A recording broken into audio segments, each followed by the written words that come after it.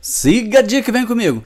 Pessoal, divisão por 5. Siga a dica aí do canal. Veja bem, quando você tiver uma divisão por 5, basta você multiplicar esse valor aqui por 2 e depois dividir por 10.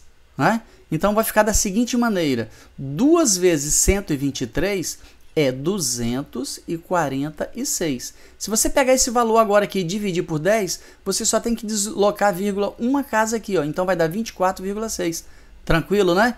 Vão outro? 4.321 dividido por 5. Multiplica esse resultado por 2.